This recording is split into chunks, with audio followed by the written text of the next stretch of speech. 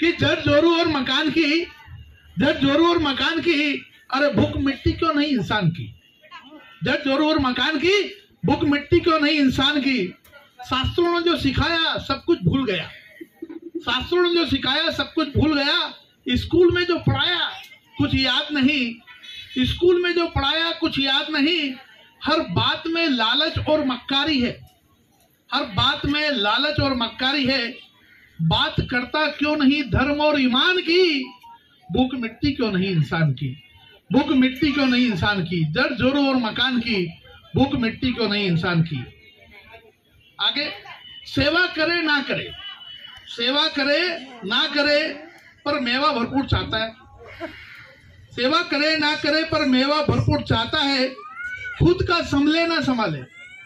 खुद का संभले ना संभाले, पर दूजों का हड़पना चाहता है। खुद का संभले ना संभाले, लेकिन दूजों का हड़पना चाहता है।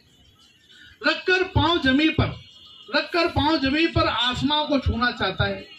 रखकर पाँव जमी पर आसमां को छूना चाहता है। मगर बात करता क्यों नहीं है इम्तिहान की? मगर बात करता क्यों नहीं है इम्तिहान की? भूख मिट्टी क्यों नहीं इंसान की?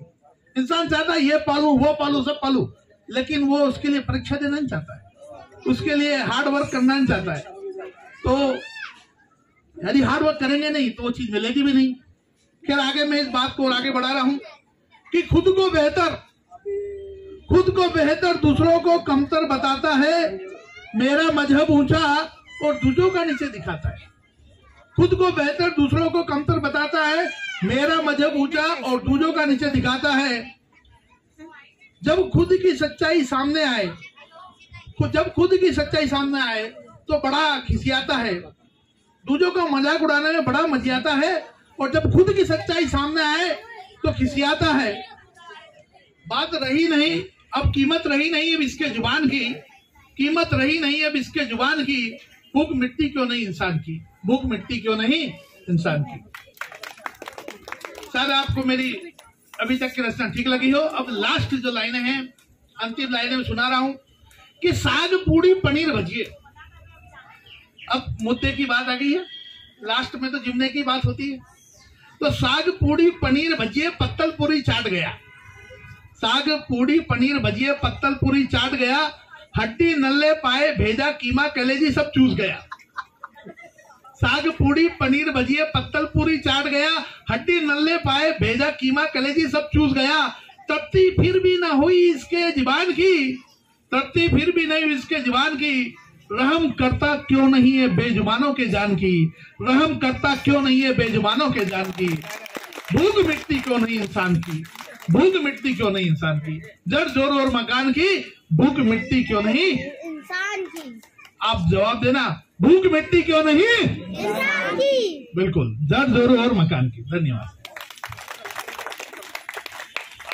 स्पेशल कमेंट भाई मैं क्या कमेंट कविता पे तो आ, कवि तो वो थे बाबा तुलसीदास जी जिन्होंने लिख दिया था कवि न हो उन्नत वचन प्रवीणु सकल कला सब विद्या हीनु आखर अर्थ अलंकृत ताना छंद प्रबंध अनेक विधाना कवित विवेक एक नहीं मोरे सत्य कहूँ लिखी कागज़ थोरे लेकिन हम तो उस परंपरा के हैं कबीर की परंपरा के हैं मीर की परंपरा के हैं तुलसी की के तो एक का भाव अगर हमारे भीतर आता है, और आज तो मैं अच्छा लगा मुझे कि अभिधा में सीधी बात, अनिल बैठी ना। अभिधा में सीधी बात, कही कोई लक्षणा नहीं, कोई व्यंजन। शब्द- की तीन शक्तियाँ होती है अभिषणा व्यंजना। तो अभिधा में जो रहा, बिल्कुल सच है कि अपेक्षा का है। कहते हैं ना कि अगर जीवन है और अपेक्षाएँ रह जाए तो मृत्यु है, और अपेक्षाएँ चली जाए और जीवन रह जाए तो यही मोक्ष है।